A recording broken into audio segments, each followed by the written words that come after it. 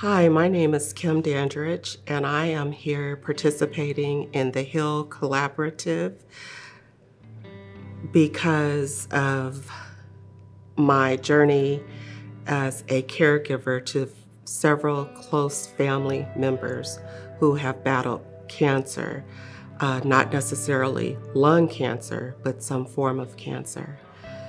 Um, in 20, let's see, 20, let's see, 2009, I believe, my mom was diagnosed with ovarian cancer that had spread, so they actually didn't know that it was ovarian cancer until uh, they continued uh, running tests. She subsequently um, lost her battle against um, cancer in uh, 2011. At the same time, I had a partner, he had uh, started having some back pain. And um, fast forward a couple years after the back pain, actually was kind of on his side, didn't go away. He, after being um,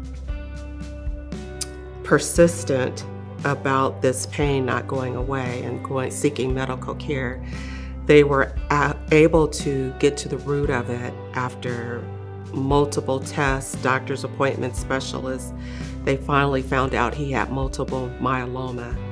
So then I started that journey of being a caregiver, being his advocate um, as he started that journey.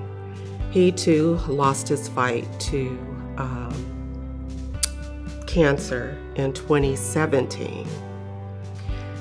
Fast forward from there in uh, 20, right after COVID, 2021 or two, um, my father was diagnosed with, um, well, he had, he's a smoker, so they had noticed some um, spots on his lungs, and they said that they were going to monitor them.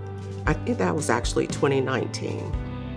So after COVID, when he started going back for his routine follow-up appointments, they discovered a change in the size of what they had noticed previously.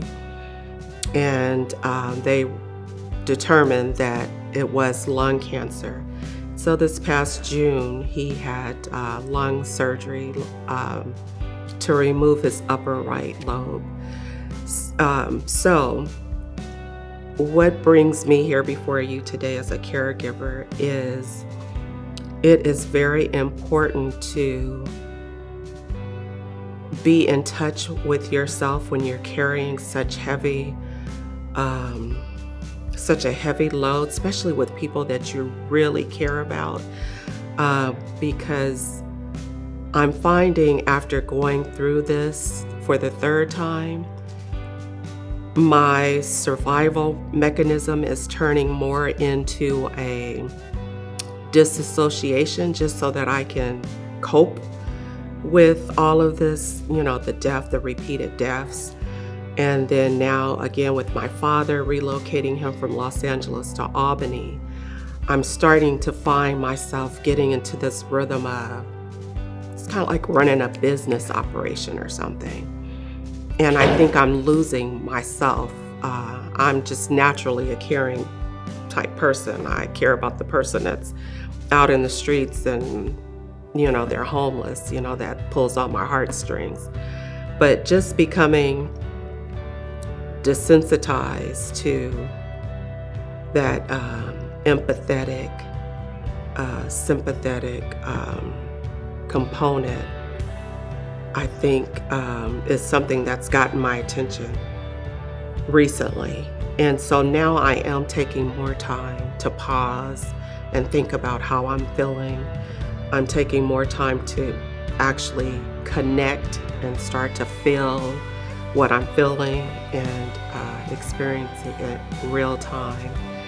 And I guess it all circles back around to um, if you're caring for someone and it's been an extended period of time, or uh, you've lost someone that you've cared for, um, whatever the situation is, just remember self care and try to be present with yourself so that you don't lose yourself uh, during this process.